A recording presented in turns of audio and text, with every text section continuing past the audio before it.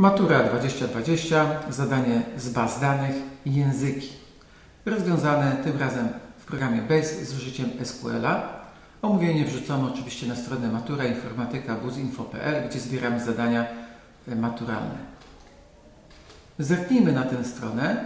E, zachęcam do obejrzenia tego filmu. Import-export tabel z programu BASE. Mamy tam pewne niuanse i dopowiedzenia, których w tym filmie zabraknie. Teraz postaramy się zrobić to jak najbardziej skrótowo. Tyle tylko, żeby dało się rozwiązać nasze zadanie. To to już jest treść zadania. Mamy tutaj trzy pliki tekstowe. Każdy z nich zawiera tabelkę, które musimy zaimportować i skorzystać z relacji, które je wiążą, wyciągając pewne informacje.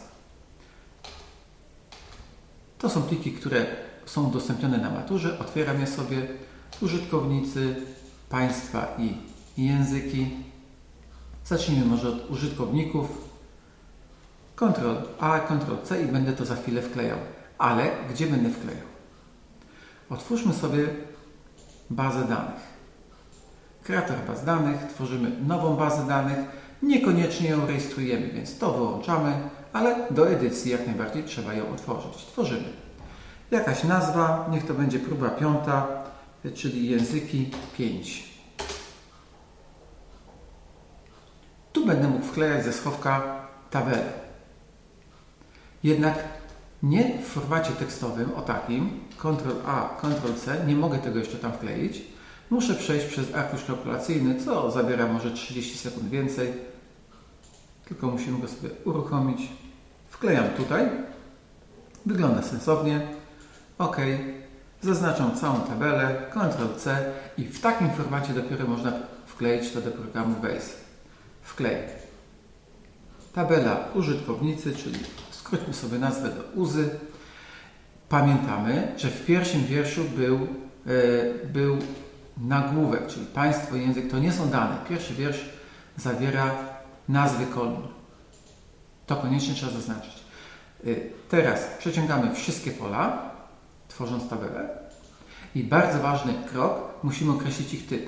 Państwo domyślił się, że to jest tekst, ale 50, 255 znaków to jest za dużo, dajmy 50. Język, też tekst, też niech będzie 50 znaków. Użytkownicy, no to nie jest tekst, to jest liczba, nie będziemy mogli liczyć, jeżeli nie zmienimy na e, float, real lub double. Double jest najbardziej precyzyjny, możemy przejść tutaj, chociaż tam było do jednego miejsca po przecinku. A niech będzie float. Ok. I jeszcze język urzędowy. Tam było odpowiedź słowo tak lub nie. No to 10 znaków tekstowych jak najbardziej wystarczy i tworzymy taką tabelę. Czy potrzeba klucza głównego w tejże tabeli? Jeżeli nie chcemy jej edytować ani ręcznie modyfikować, to nie. A ponieważ my w zadaniach maturalnych tylko odczytujemy informacje, więc nie tworzymy klucza głównego. Można by to zrobić teraz, edytując tę tabelkę. Ale jak widzimy, mamy już ją. Podejdźmy ją sobie tak skrótowo tutaj. No rzeczywiście zaimportowała się, wygląda, że dobrze. Następne dokładnie tak samo. Państwa, Ctrl-A, Ctrl-C. Na nowej zakładce Ctrl-V. Wygląda dobrze. Znowu pamiętamy o tym. Ostatnia kolumna to mają być liczby. Ctrl C, całą tabelę kopiujemy i wklejamy tutaj. To miało być państwa, czyli pan. Pierwszy wiersz koniecznie jako nazwa kolumn. Przeciągamy wszystkie kolumny, określamy ich typ. Państwo to oczywiście tekst. Pamiętamy, żeśmy w 50 znakach się zmieścili. Kontynent też niech będzie 50 znaków. Populacja a to była liczba. I już pozostajemy w takim razie przy liczbach typu float i tworzymy taką tabelę. Bez klucza głównego, niepotrzebny nam jest. Gdyby w tym momencie wyskoczył komunikat o błędzie, to trzeba taką tabelę usunąć i poprawić, a błędy są dwojakiego typu. Albo dałem zbyt mało miejsca na dane, czyli nie 50 znaków, bo obciął jakąś nazwę państwa zbyt długiego, tylko na przykład 100 znaków, albo źle określiłem typ danych i konwersja przy imporcie się nie powiodła. Czyli jedno z tych dwóch trzeba by skorygować. Trzecia tabela. Języki. Ctrl A, Ctrl C. Przez arkusz się przysiadam. Wygląda dobrze. Podzielił na dwie kolumny. Zaznaczam całość. Ctrl C. I wklejam tutaj jako, tabel, jako tabelkę języki. Pierwszy wiersz jako nagłówkowy. Wszystkie pola. Język to oczywiście tekst do 50 znaków i rodzina to także tekst do 50 znaków. Tu nie mamy żadnych liczb. Tworzymy bez klucza głównego. Przez to nie możemy zmieniać tych tabel, ale nie jest to konieczne na maturze. Dobrze, mamy gotowe, yy, gotowe tabele. Możemy zacząć zadawać do nich zapytania. Podpunkt pierwszy. Utwórz zestawienie, które dla każdej rodziny językowej podaje, ile języków do niej należy. Czyli trzeba tylko w tabeli języki pogrupować po rodzinie i policzyć, ile jest powtórzeń tejże rodziny. No i oczywiście wyniki postartować nierosnąco według liczby wystąpień. Dobrze. E, to jest krótki podgląd na tabelę języki. Widzimy na przykład indoeuropejski występuje tu, tu, tu. Jeżeli pogrupujemy, to już będziemy mieli trzy wystąpienia, a być może więcej. Grupujmy wtedy kwerendy, kwerenda SQL i piszemy select. E, jeżeli będziemy grupować po rodzinie, to rodzina from tabela języki. Spójrzmy na to. No i rzeczywiście mamy wypisane tylko, yy, tylko rodziny, ale chcemy pogrupować. Group by rodzina. Tu jest literóweczka.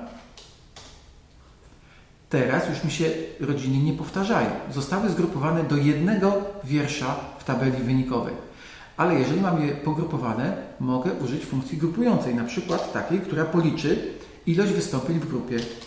Policzy, czyli count. Wszystkie rekordy, które pojawiły się jako wynikowe dla każdej rodziny. I widzimy, że już mamy odpowiednie wyniki, ale jeszcze nie postartowane. Order by i tu niestety e, trzeba wpisać pewną funkcję count gwiazdka, nawet jeżeli sobie ją nazwiemy jako ilość. To tu nie mogę użyć słowa ilość, tylko muszę użyć funkcji grupującej czy całych przeliczeń. I rzeczywiście mamy postartowane w złej kolejności, bo mamy rosnącą, czyli no to desk. Desk. Dobrze. Teraz już mamy malejącą. E, chciałbym teraz tę tabelkę przekopiować do pliku wynikowego. Niestety nie mogę jej zaznaczyć w całości. Zapisuję taką kwerendę jako zadanie pierwsze. OK.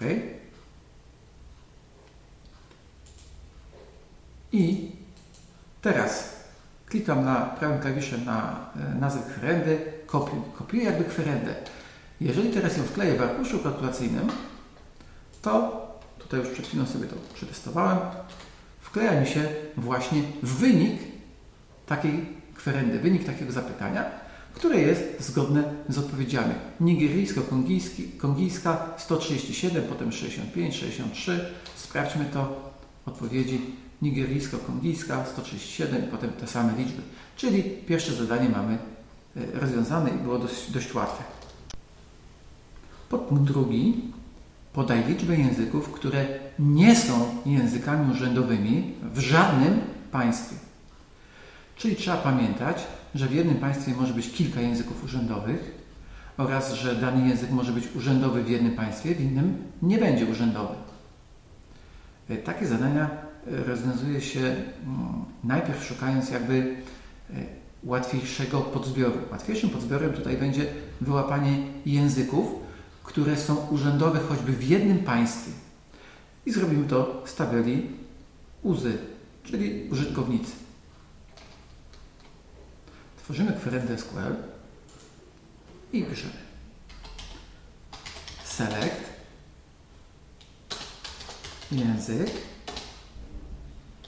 from użytkownicy, gdzie No, język urzędowy, tak.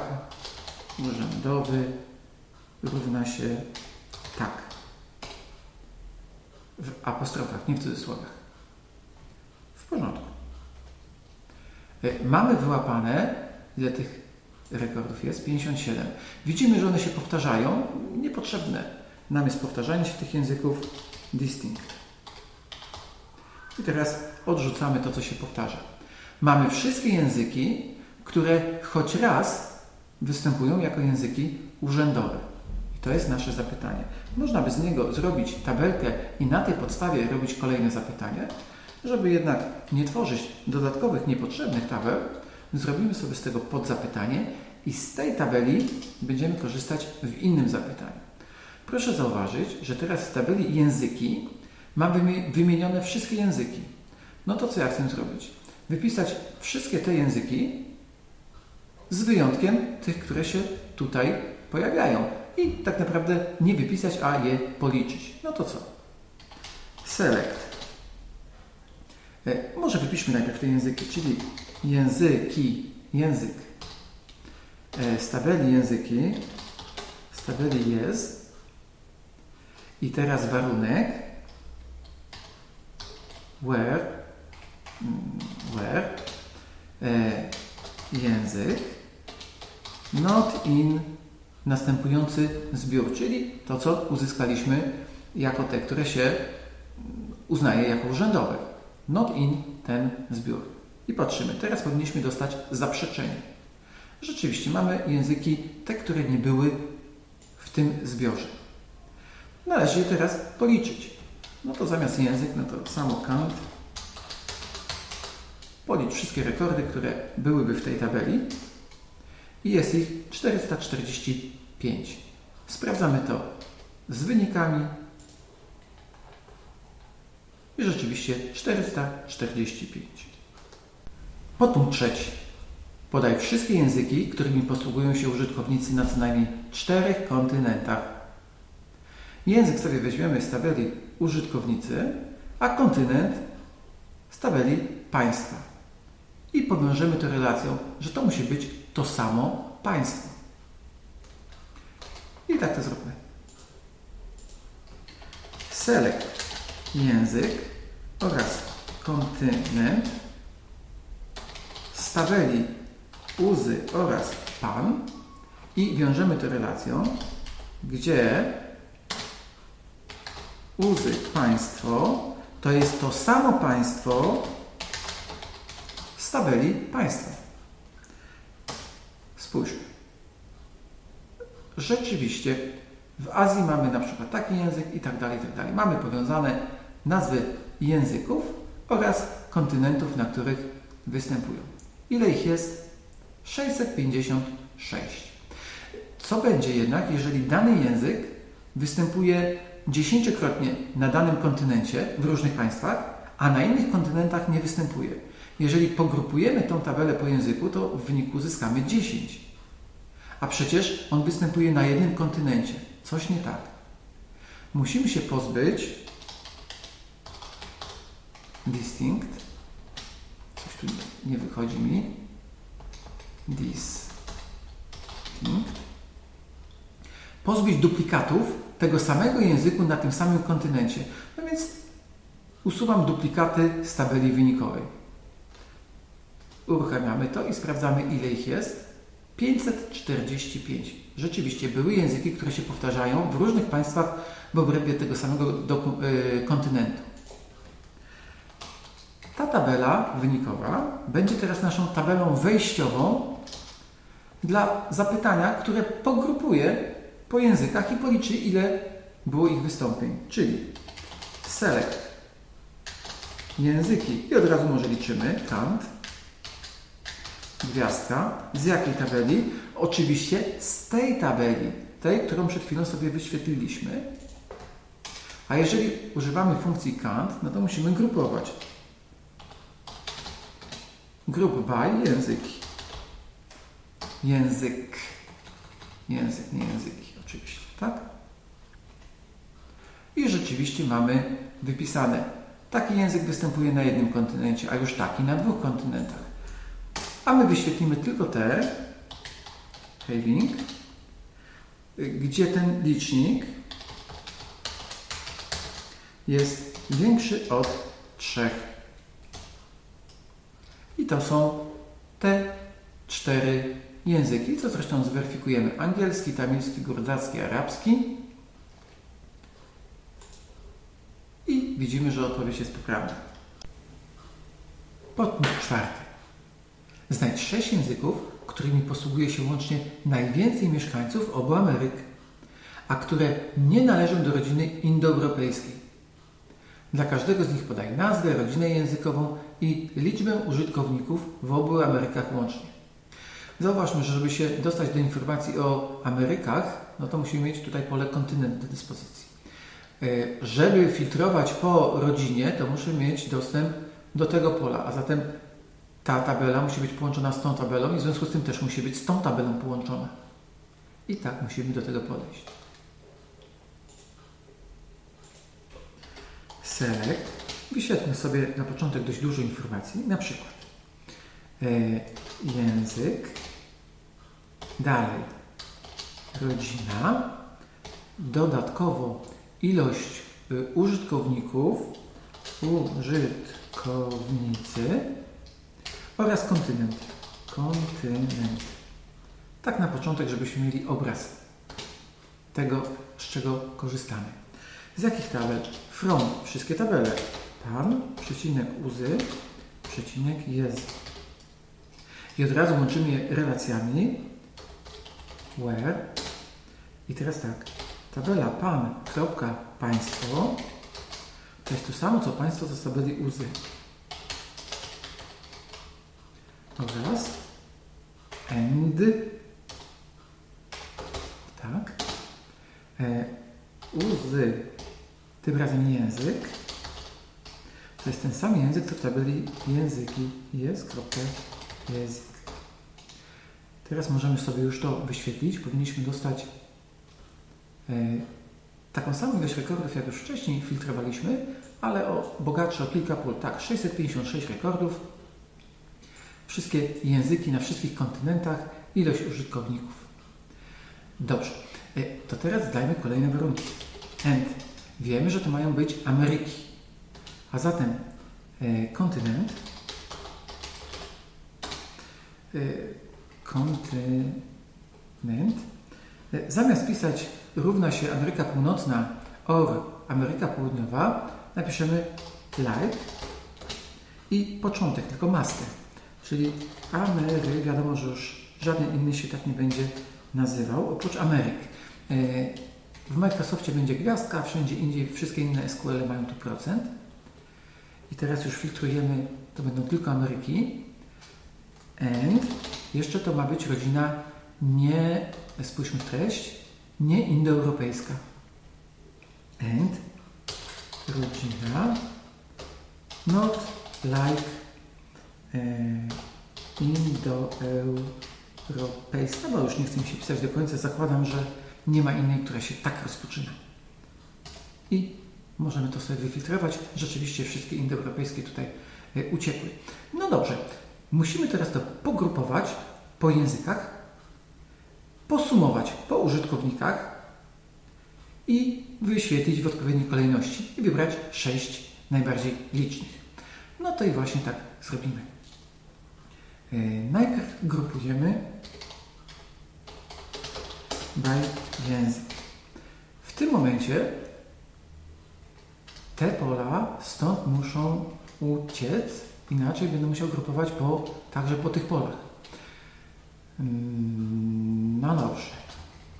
Rodzinę muszę wyświetlać, e, więc po rodzinie też będziemy grupować. Język zresztą jest zawsze w tej samej rodzinie. Rodzina, ilość użytkowników. Tu zamiast tego to będzie suma, czyli tu już więcej nie, e, nie musimy. To wyrzucimy, bo w tym momencie nam to jest już niepotrzebne. Tu damy za to funkcję grupującą sum. E, sum, jakie pole? Użytkownicy. Użytkownicy sumujemy. I popatrzmy. I widzimy, że arabski z taką rodziną, tak, bo też musieliśmy rodzinę wyświetlić, w sumie tylu, zdaje się, milionów, tak, e, użytkowników w obu Amerykach i tak dalej, i tak dalej. No dobrze, e, to jeszcze posortujmy. Order by, e, ta suma, ja może sobie ją przekopiuję, będzie szybciej, sum użytkownicy. I najlepiej u góry ci najliczniejsi, czyli desk. Zobaczmy. I widzimy, że mandaryńskie, arabki, arabski, to nawet nie umiem wymówić i tak dalej. Koreański, proszę bardzo. Dobrze. E, ograniczmy wyniki, bo widzimy, że jest ich w sumie 35 do, zdaje się, 6, tak?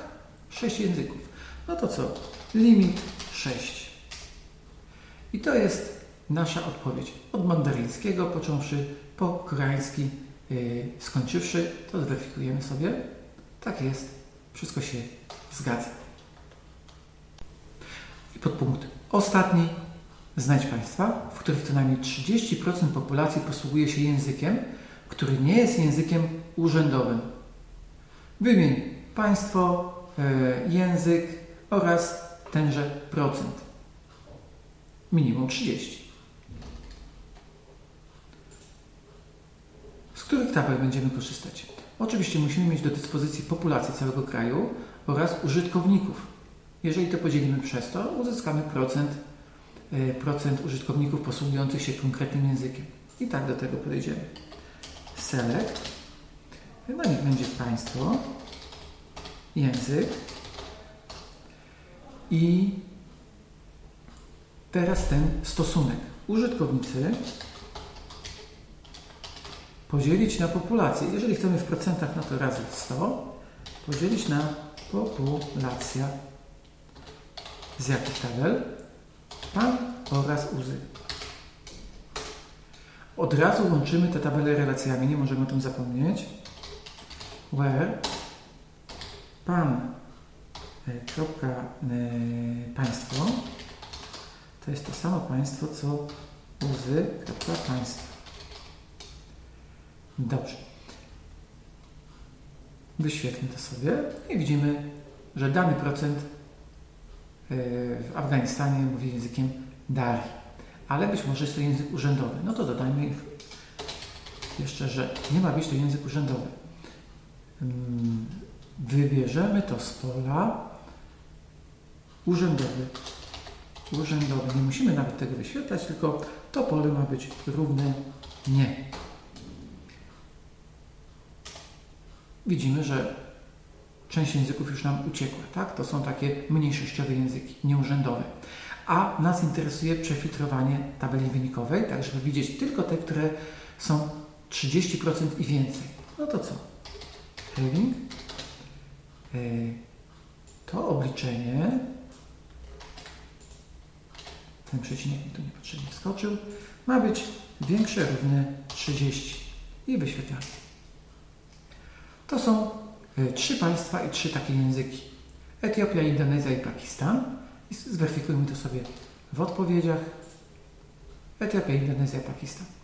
Rozwiązaliśmy zadanie maturalne i tym kończymy, e, kończymy ten film.